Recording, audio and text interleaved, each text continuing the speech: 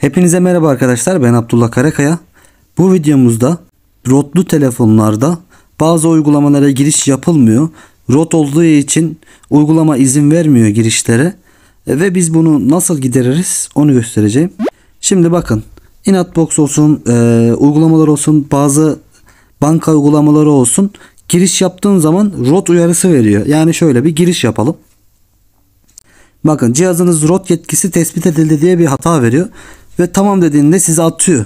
Peki biz bu e, rotu e, telefonumuzdan kaldırmadan bu yetkileri nasıl kapatırız onu göstereceğim bu videomuzda. E, şimdi bakın ilk önce Magisk uygulamasına giriyorsunuz.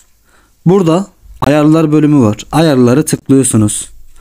Ayarlara tıkladıktan sonra aşağı doğru iniyorsunuz. Magisk bu bölüme geliyorsunuz. Burada e, Zygisk seçeneğini açıyorsunuz. Sadece bunu açıyorsunuz. Diğerini açmıyorsunuz. Açtıktan sonra telefonu bir defa kapatıp açıyorsunuz.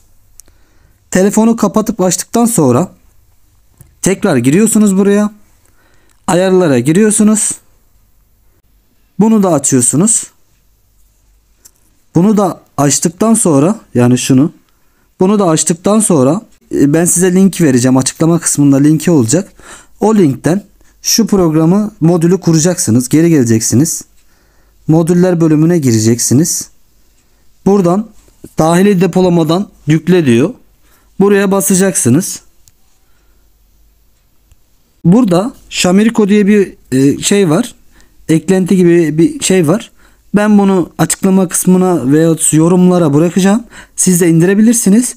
Buradan seçerek seç diyorum ve bu kurulum işlemi gerçekleşiyor. Kurulum işlemi gerçekleştikten sonra yeniden başlat diyorsunuz. Ben şimdi geri geliyorum kurduğum için. Yeniden başlattıktan sonra tekrar komple çıktıktan sonra telefonunuzu yeniden başlattıktan sonra Magisk uygulamasına tekrar giriyorsunuz. Buradan ayarlar ayarlardan aynı şekilde şu e, configure denilis diye bir yer var. Buraya giriyorsunuz.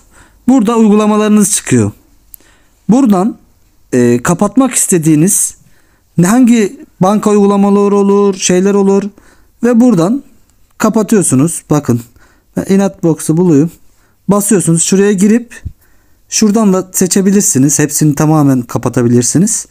Bu uygulamada Magisk'i kapatmış olduk ve tekrar girdiğimizde Inatbox uygulamasına tekrar girdiğimizde o hatayı vermeyecek artık bize. Tekrardan girelim. Bakın gördüğünüz gibi girdi. Herhangi bir hata yok. Herhangi bir şey yok. Girebiliyorsunuz. Çıkalım tekrardan. Banka uygulamalarında aynı bu şekilde hata veriyor. O hatayı bu şekilde yaparak kapatabilirsiniz. Umarım video faydalı olmuştur. Beğendiyseniz beğenmeyi, kanalıma abone olmayı unutmayın. Hoşçakalın.